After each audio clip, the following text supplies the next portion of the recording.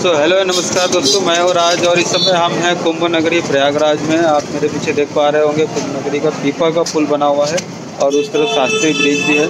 हम लोग गंगा नदी के किनारे इस तरफ़ दारागंज घाट के साइड में हैं और यहाँ पर आप देख सकते हैं कि ये जो पीपा का पुल नंबर चार है और आगे साइड में पुल नंबर पाँच भी है, जो कि उस तरफ़ पड़ता है। तो ऐसा पाँच पुल है, ब्रिज के उस तरफ़ जो है तीन पुल है, जो कि संगम की ओर कनेक्ट होते हैं, प्रयागराज संगम से।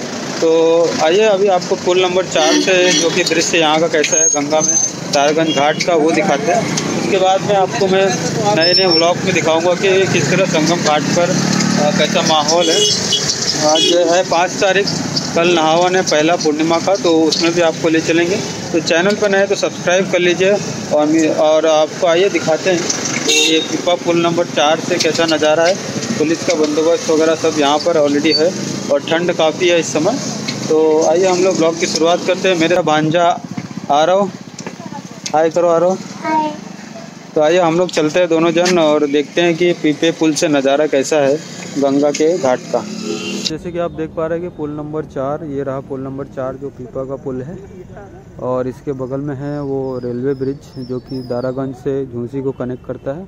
और उसके पीछे है शास्त्री ब्रिज और उसके बगल में है वहाँ पर पुल नंबर तीन, दो और एक और संगम नगरी क्षेत्र प्रयागराज उसी तरफ़ है।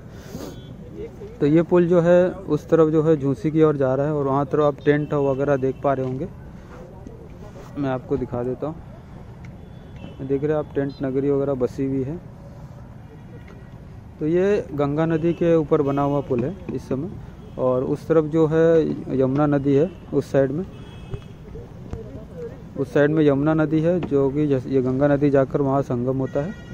तो उस तरफ़ भी चलेंगे, आपको वहाँ का भी नज़ारा दिखाएँगे। वीडियो में बने रहिए और ऐसे ही लेटेस्ट वीडियो आती रहेंगी प्रयागराज संगम क्षेत्र को लेकर। हम ज़्यादा आप कोहरा देख पा रहे होंगे। इस समय दोपहर के चार बज रहे हैं, फिर भी आप मौसम देख पा रहे होंगे कैसा है।